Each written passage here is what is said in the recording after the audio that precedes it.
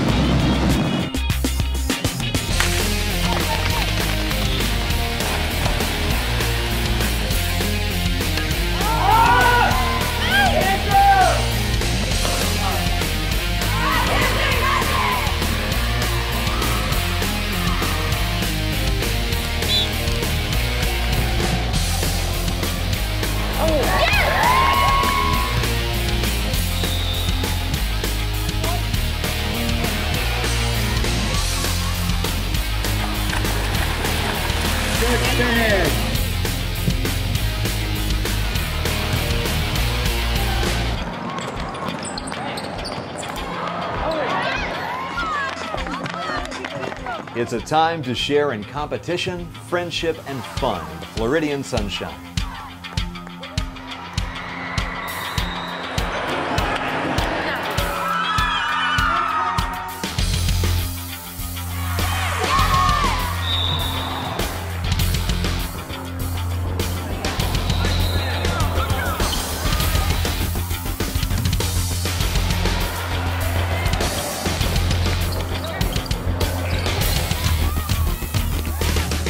And with the competition over, the medals are counted, and the school with the best overall record takes home the coveted Meritas Cup.